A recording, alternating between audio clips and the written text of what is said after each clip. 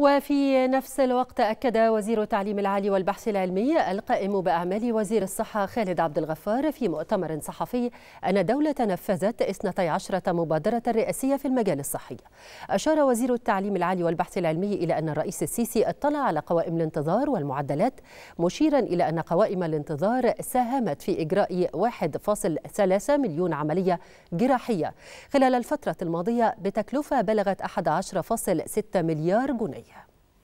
اطلع سيادته على قوائم الانتظار واطمئن سيادته على المعدلات التي تتم من خلال المبادرات الرئاسية 12 مبادرة رئاسية وبالخلاف قوائم الانتظار اللي قدرنا إن إحنا نعمل في فترة سنوات قليلة ماضية أكثر من مليون و300 ألف عملية جراحية من العمليات المتقدمة.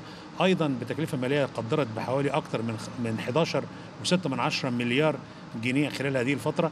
وجه سيادته باستمرار دعم المبادرات الرئاسية وتوفير التمويل اللازم لضمان حسن واستمرار هذه المبادرات لتقديم خدمات صحية وتحسين جودة الحياة للمرضى والانتهاء من القوائم الانتظار حتى لا تتزايد عن من أسبوعين لثلاث أسابيع.